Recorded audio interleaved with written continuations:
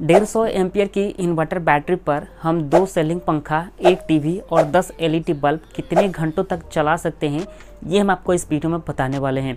अगर आपके पास डेढ़ सौ बैटरी के अलावा कोई और बैटरी है, जैसे 200 एम्पियर की है 250 एम्पियर की है, कोई भी बैटरी हो, आपको बड़ी आसानी से पता चल जाएगा इस वीडियो में कि आपकी इन्वर्टर बैटरी कितने घंटों तक तो आपके उपकरण को चला सकती है।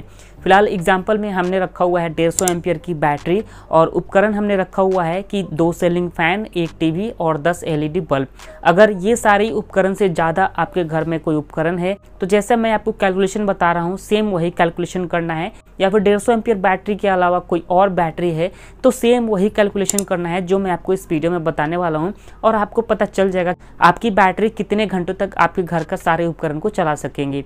तो चलिए बिना टाइम वेस्ट किए इस वीडियो को शुरू करते हैं और आपको बताते हैं तो प्लीज़ वीडियो को लाइक करके चैनल को सब्सक्राइब करें और इस वीडियो को सभी लोग के पास शेयर भी करें। तो आइए शुरू करते हैं इस वीडियो को और आपको बताते हैं। सबसे पहले देखिए, हमारे घर में जो हमने रखा हुआ है, दो सेलिंग फ़ैन और एलईडी बल्ब और एक टीवी तो ये सारे उपकरण कितने वॉट की हैं, ये सब कुछ पहले हमें कैलकुलेट करना है। जैसे कैलकुलेट कैसे करना है कि, जैसे कि एक सेलिंग फ़ैन हो जाता है, लगभग 80 वॉट का तो दो सेलिंग फ़ैन जो होता है 160 वाट का हो गया। इसी तरह से 10 एलईडी बल्ब है तो 10 एलईडी बल्ब मिला करके 100 वाट का हो गया। एक हमारे पास टीवी है तो एक टीवी लगभग 50 वाट का हो जाता है। तो इसी तरह से आपके घर पर जो भी उपकरण है, वो कितने वाट की हैं, सबको आपको ऐड करते जाना है। तो हमारे घर का उपकरण हुआ है 310 वाट का। तो अब हमें देखना है कि 310 वाट का टोटल उपकरण को ये कितने समय तक हमारा 150 एम्पियर की बैटरी चला सकेगा। अगर आप कूलर भी चलाते हो तो आपको देखना होगा कि आपका कूलर कितने वाट का है। ये, उसके बाद इसमें ऐड कर देना है। गाइस अगर आपको नहीं पता है कि आपका कौन सा उपकरण कितने वाट का है तो आपको दो तरीके से पता चल जाएगा। या तो आपके उस प्रोडक्ट के ऊपर लिखा हुआ है कि आपको वो प्रोडक्ट कितने वाट का है। दूसरा कि आप जब ऑनलाइन परचेस किए होंगे या फिर ऑफलाइन परचेस किए होंगे, उसका जो डब्बा है, उस पर लिखा हुआ होता है। या फिर तीसरा चीज़ है कि आप ऑनलाइन सर्च करके भी पता कर सकते हो कि आपका वो प्रोडक्ट जो है कितने वाट का है। तो फ़िलहाल हमारा 310 वाट निकल के आया हुआ था तो इसमें हमें 0.8 डिवाइड कर देना है।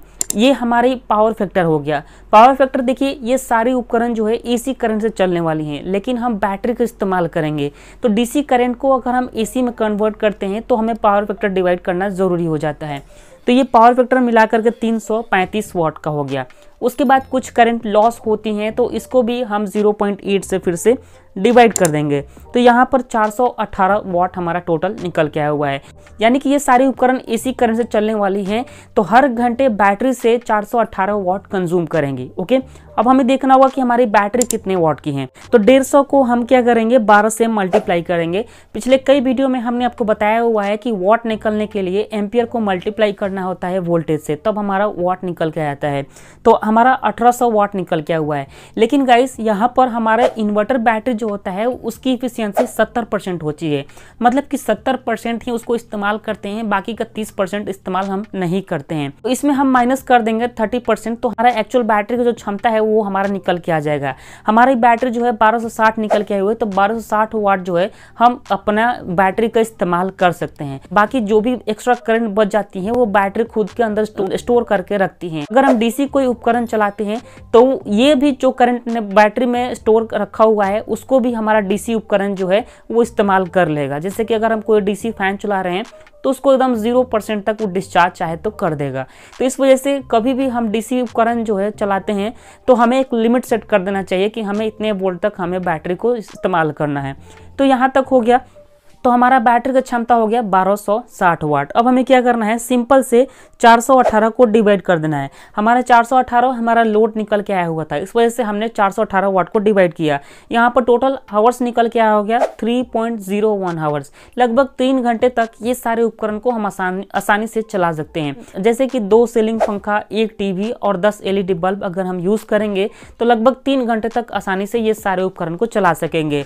ये जो हमने टाइमिंग बताया हुआ है एग्जैक्ट एग्जैक्ट मतलब 100 परसेंट दावे के साथ कह सकता हूँ, ये टाइमिंग एकदम परफेक्ट है। अगर आपको विश्वास नहीं हो रहा है तो प्रैक्टिकली आप इस्तेमाल करिए अपने घर का दो फ़ैन एक टीवी और दस एलईडी बल्ब। देखिए, तीन घंटे से आपका बैटरी जो है ज़्यादा बिल्कुल भी नहीं चलने वाला है।